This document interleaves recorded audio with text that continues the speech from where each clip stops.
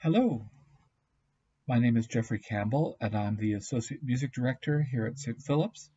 And it's a pleasure to welcome all of you to this, the second installment of our Hymn of the Week feature. The link for the survey where you can contribute your favorite hymn suggestions is to be found in the Bell and Tower. And we have many, many interesting contributions that have already come to us enough for several weeks of, of Hymn of the Week features. So thank you to all of you who have already contributed. This week's hymn is number 644 in the hymnal 1982, How Sweet the Name of Jesus Sounds. This is one of the great texts by John Newton, which has been in the mainstream of English hymnody for more than 200 years. It first appeared in 1779 under the title The Name of Jesus.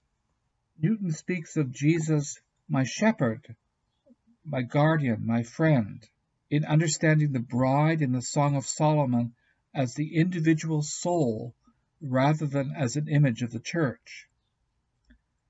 Some have made another link between this hymn and the medieval mystic and observed that Newton's hymn in many ways echoes the Latin hymn Jesu Dulcis Memoria, a hymn frequently attributed to St. Bernard.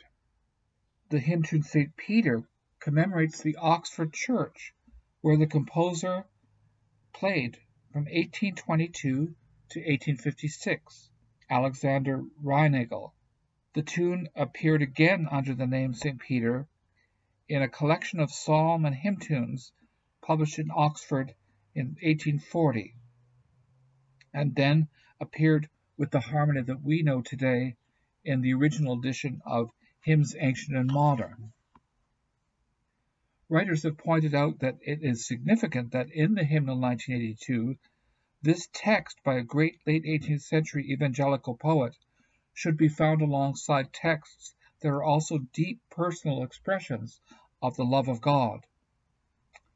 One by an anonymous medieval poet, and the other by a 19th century Roman Catholic poet who had converted from Anglicanism. This text, 644, has been matched with the tune St. Peter since the 1871 edition of the Episcopal Hymnal. We're happy to have the Lay Clerks singing with us and we encourage all of you to join in in singing How Sweet the Name of Jesus Sounds, hymn number 644.